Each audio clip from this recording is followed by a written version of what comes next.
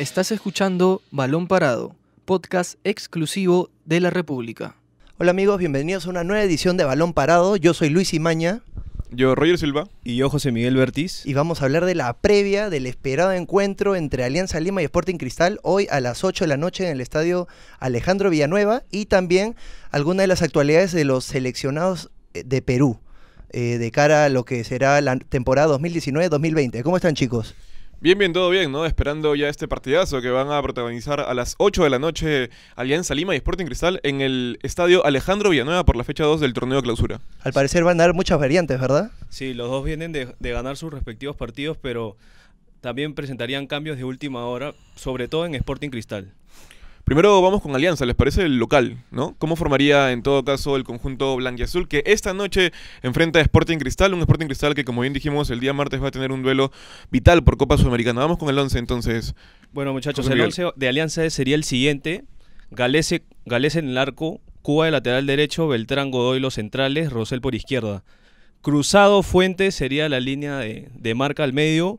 Felipe Rodríguez por izquierda. Felucho, Arre por derecha. Cachito detrás de Balboa. Balboa, quien al parecer arrancaría nuevamente después de su debut con Sport Boys. Y otra de las novedades también sería la inclusión en la nómina de, de convocados de Federico Rodríguez. Los, los dos cambios que presentaría este, Alianza para este partido sería uno en la defensa y el otro en el medio campo. Hablamos de que entra Godoy por Riojas, ¿Correcto? vuelve Godoy y al medio entra Cruzado y sale Cartagena. Cartagena. Y además también hay una baja que había un jugador que no ha sido convocado que sería José Manzaneda. Una Sí. importante baja Sí. también. Sí, justamente en la lista de convocados no aparece José Manzaneda y es algo llamativo, ¿no? Porque muchos por ahí eh, esperaban verlo en el campo de juego contra Sporting Cristal, sin embargo no va a estar.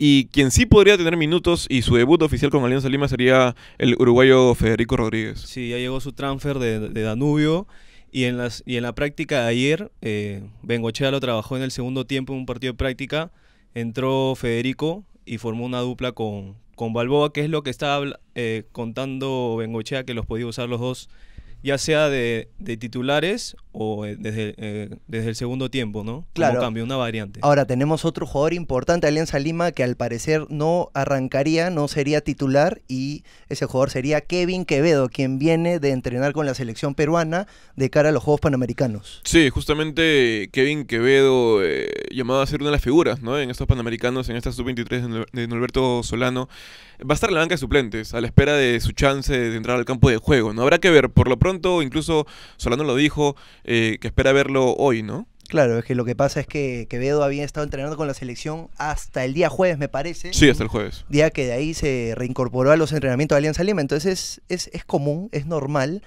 que un jugador, a pesar de su, de su importancia, de su relevancia en, en un equipo, si recién se sumó dos días antes, un día antes de- del partido, de un partido decisivo como contra Sporting Cristal, eh, no se ha tomado en cuenta desde el inicio. Ahora no quiere decir que no, no sume minutos. Es muy probable que sumen que sea unos eh, 20, 15 minutos con, contra Sporting Cristal. Es que también los, los clubes ya están trabajando, se viene la fecha, se, se incorporan un día antes y el técnico ya tiene el, el, el once definido. Por Salvo supuesto. alguna variante, podría que también sea de último momento, de repente que veo para Bengochea. Alguna dos lesión horas antes también. También una lesión de último Sí, una momento. baja de último minuto. ¿no? Pero al igual que Cristal, también dejó fuera a Pretel, ¿no? Correcto. Dejó fuera a Pretel, Cachita, que no se sabe si va a ser titular o no, que ahorita lo vamos a conversar.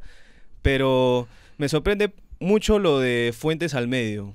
Bueno, y dejando a, a Cartagena, que venía siendo el capitán también en varios partidos casi todo el año de Alianza, lo mande, lo mande a la banca. Bueno, lo de Fuentes es, es, es algo favorable para, para los hinchas de Alianza Lima. Yo creo que con el pasar de, de los meses, con el pasar de los partidos, eh, Fuentes va- ha ido adquiriendo experiencia. Para empezar, a, a su corta edad ya está siendo considerado para ser capitán de Alianza Lima, cosa que no, eh, no hay que descuidar, no hay que ignorarlo, ya que...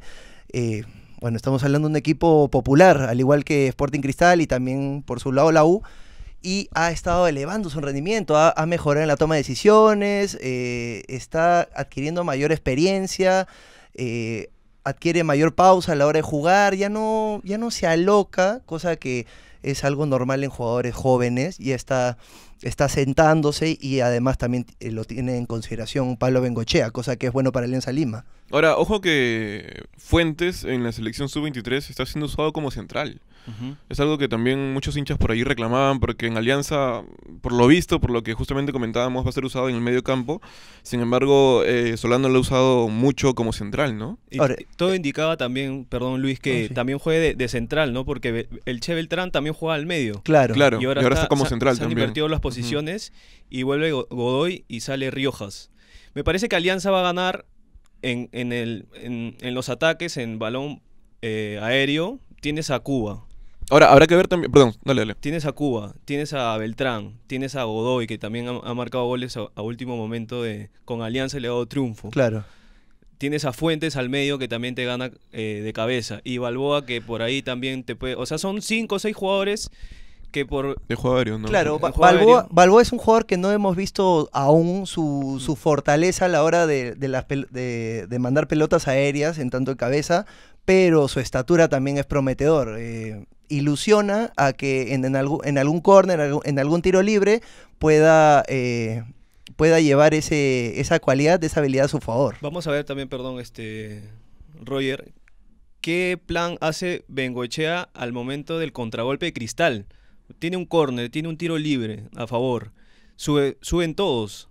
Sí. Cruzado no tiene un, un respaldo como Cartagena que, que se puede quedar y esperar eh, el contragolpe y, y- y evitar eh, ¿no? Una, un gol de cristal. Claro, que los a ver agarre mal parados. Exacto, que no los agarre mal parados. Vamos a ver cómo plantea también Bengoechea en ese en el contragolpe de cristal, ¿no? Un posible contragolpe. Y justamente tocaban el tema de Balboa, ¿no? Balboa es un jugador, como decía Luis, que no se le vio... No tuvo un buen rendimiento, mejor dicho, Bueno, recibe un Boys, partido ¿no? también. eh. También un partido, pero al menos se le notó peleado con el balón, ¿no? Se le notó peleado con el balón. Habrá que ver, eh, creo yo que tiene una oportunidad de oro para demostrar su valía en este encuentro contra Sporting Cristal, pero también hay que descartar a Federico Rodríguez, ¿no? Que para mí, por ahí asoma más, que tendría más fútbol que Balboa.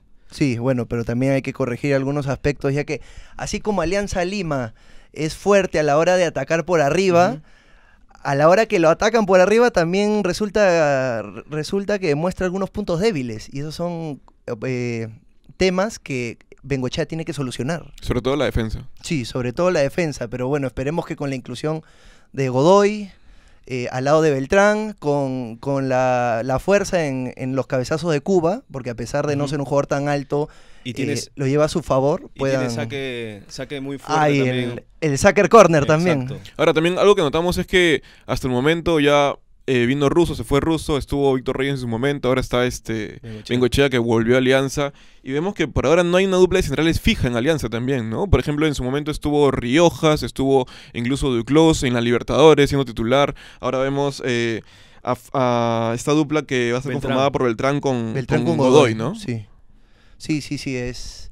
Todavía no, no, parece que no, no queda convencido con, con la saga para llevar a cabo todo el, todo el clausura, pero lo bueno es que tiene opciones. Como ustedes decían, Fuentes, a, a su vez que eh, juega en el medio campo, volante de marca, también ha, ha sido eh, considerado en algunas ocasiones también en Alianza Lima como central. En la selección, como lo hemos visto, parece que el Solano eh, está interesado en que Fuentes sea un zaguero.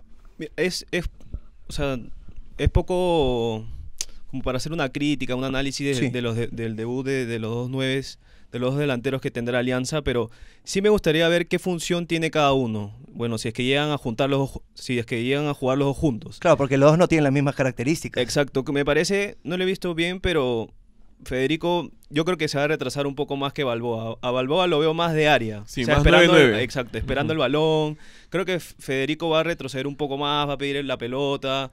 No sé, yo lo- los, los pocos partidos que he visto, o sea, recibe y toca. Él, él dice, no, no me importa si marco goles, lo importante es que el equipo gane. O sea, es un jugador que le gusta más asociarse con, con el equipo más que ir de cara al, de cara al gol. Exacto. Ahora, también por ese lado está- me, me parece, me parece acertado, ya que Balboa, en lo que se vio con el partido ante Boys, eh, se lo vio un poco en problemas a la hora de recogerse un poco, tratar de recibir los pases para poder triangular con algún compañero.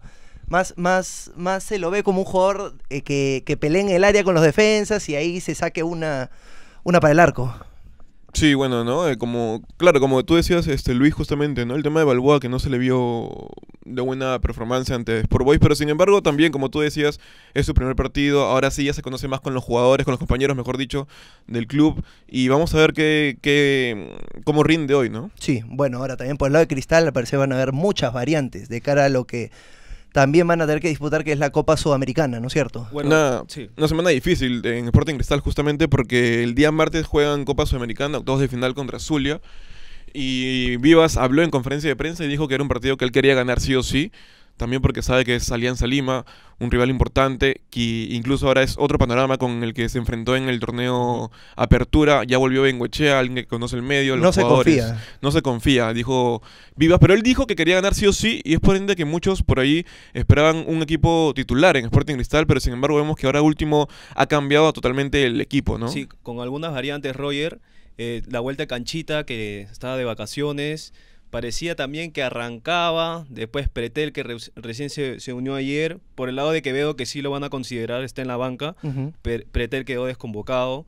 Eh, parece, todo indicaba que era un, un equipo titular, ¿no? Con, o sea, con pocas variantes.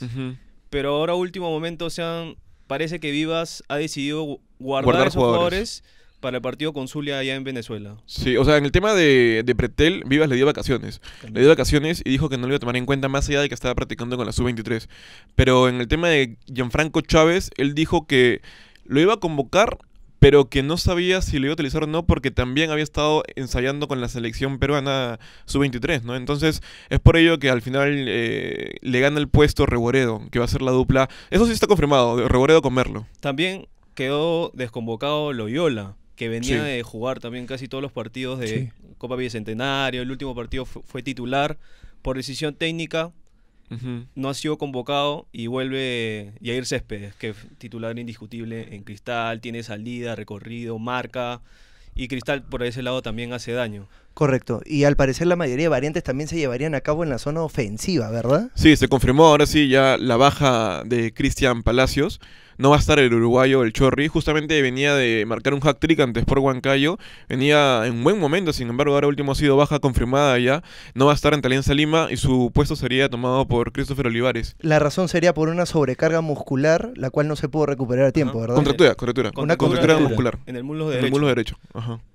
Sí, Otra de las variantes, ¿cuáles serían también? Una, una baja muy importante Sí. porque, a ver. Sumada si a la ves- Herrera, sí, pues, porque sí, no hay a la- delanteros. Tienes los dos goleadores del equipo Claro. lesionados. Viene Olivares, que ha jugado poco en, en Portugal. Sí. O sea, no, no pasa de los 15 partidos. No llegó a jugar en primera tampoco. No llegó a jugar en primera. No llegó a sumar un partido completo. Solo marcó un gol. Y también he estado chequeando un poco las estadísticas porque Olivares tampoco no se fue como el delantero, ¿no? Que ficha a un equipo. Claro, no, no se fue como un jugador consolidado. Exacto, como un jugador consolidado. Esa es la palabra. Y no tuvo un buen sudamericano tampoco. Tampoco.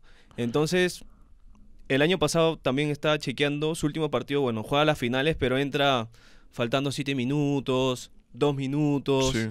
Solo completó dos partidos, 90 minutos en el año. Sí. O sea, y tenerle la, darle la responsabilidad de que arranque un clásico con Alianza y que juegue los 90 minutos, me parece que en la ofensiva no sé si se llegará a compenetrar con los jugadores, con sus nuevos compañeros, porque también ha vuelto Tábara. ¿no? Se conocen de las inferiores, pero otra cosa es jugar en primera, ¿no? Claro, y, es- y hablamos de un partido que marcaría el, el inicio de clausura y podría ser una, un, un encuentro determinante para ver eh, las oportunidades que tienen para coronarse campeones de clausura. Ahora, el hecho de que Cristal haga haya hecho tantas variantes para cuidar jugadores de cara a la Copa Sudamericana no quiere decir que sea un rival fácil y lo ha demostrado en varias ocasiones. Cristal muchas veces ha usado por así decirlo, equipo B y aún así se ha llevado la victoria y por, y por buena diferencia. Ahora vamos a dar el posible 11, ¿no? En todo caso, de Sporting Cristal formaría, como decíamos, con Álvarez en el arco, eso sí, seguro. Después la línea del fondo sería con eh, Madrid, Reboedo, Merlo, Céspedes. En el medio iría Cazulo con Lobatón. Lobatón, eh, que en la, ahora último también se ganó el puesto de titular. Después, eh, Lobatón en el medio también estaría acompañado con es- eh, bueno, según lo que tenemos es Pacheco, ¿no? Aunque habría que, que- que confirmarlo todavía. Y el otro elegido sería Patricio Arce y de punta, como decíamos, Olivares. Christopher Olivares. Y, y por, por izquierda Tábara. Ajá, Por Martín Tavara, sí, y Martín Tavara. Entonces vamos a ver cómo ubicamos ese 11. A ver, eh, la defensa no se mueve. claro, la La defensa es la defensa misma. no se mueve. eh, al medio acompañaría eh, Lobatón Con y. Cazulo, Marca sí. y creación. ¿no? Marca y creación. Una marca y creación ya de 30 y... Hablamos de una... Entre los dos, ¿cuánto experiencia sumará? Es una dupla de Con todo experiencia. respeto, ¿no? Pero ¿cuánto, Es una cuánto dupla de experiencia, Sí. eso sí.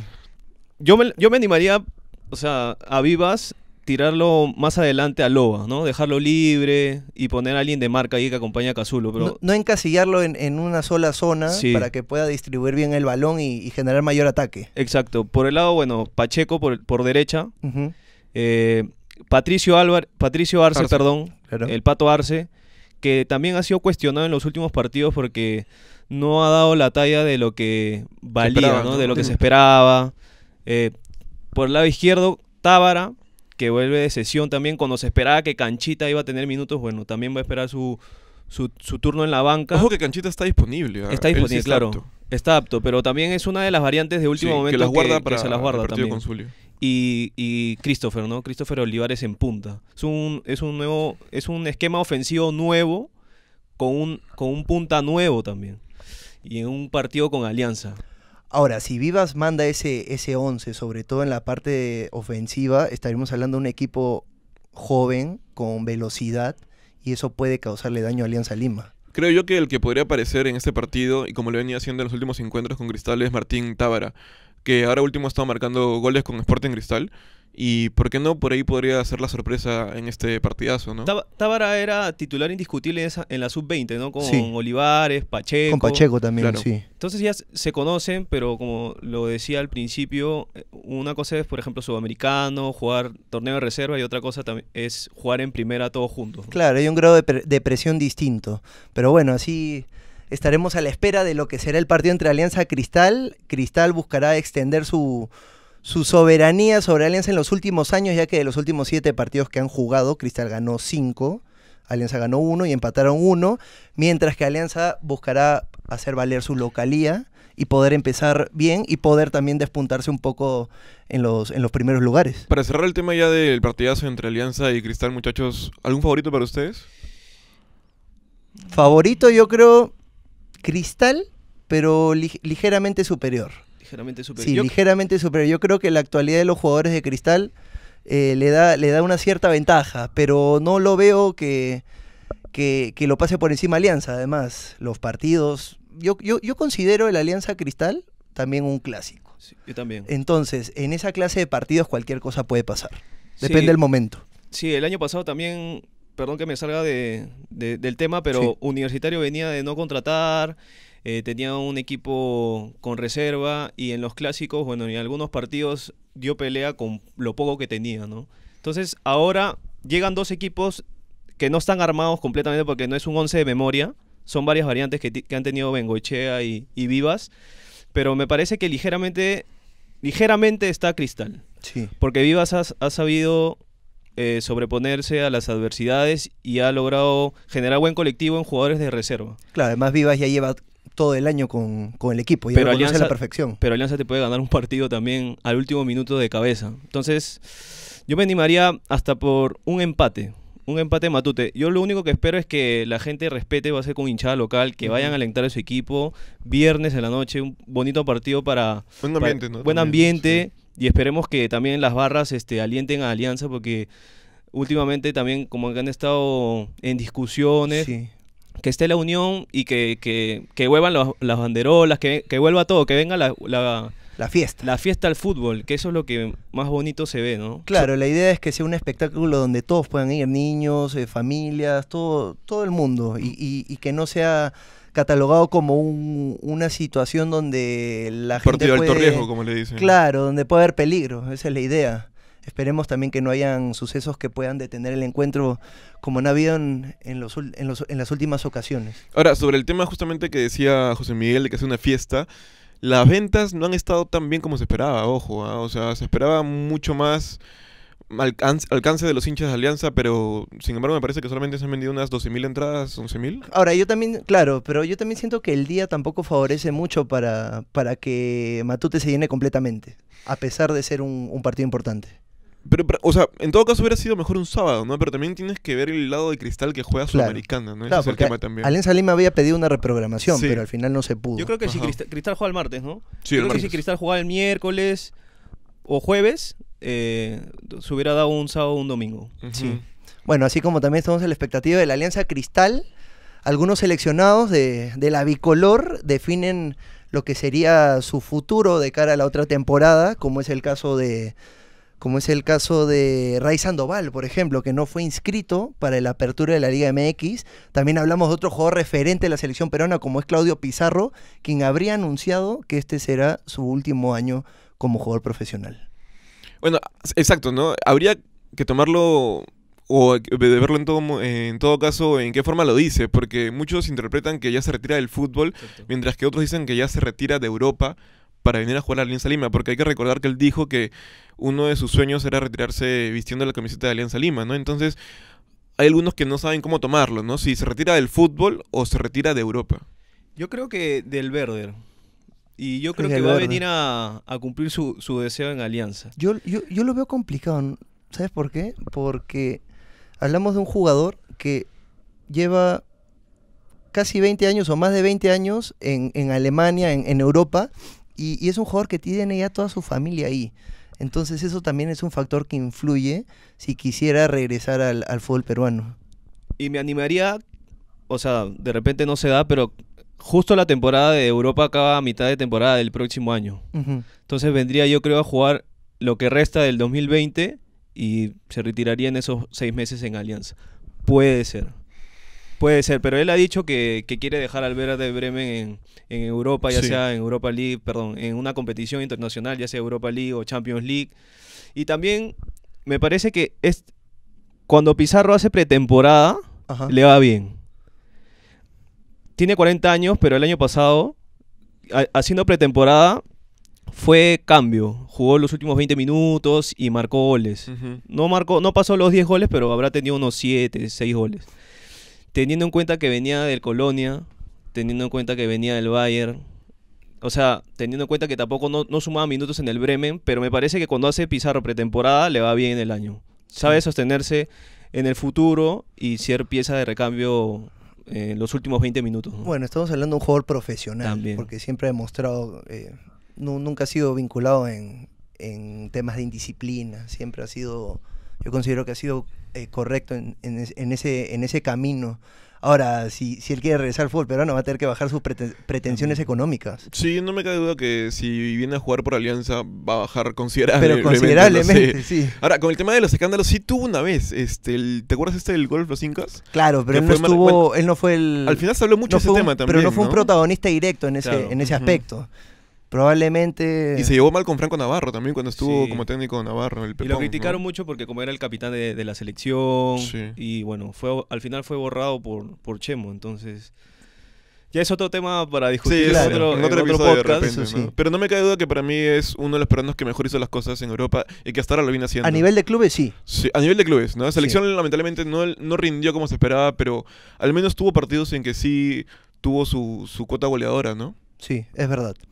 Bueno amigos, esto ha sido todo por hoy, una nueva edición de Balón Parado. Yo soy Luis Imaña Yo, Roger Silva. Y yo, José Miguel Bertiz. y nos vemos en la próxima edición. Esto fue Balón Parado, podcast exclusivo de la República.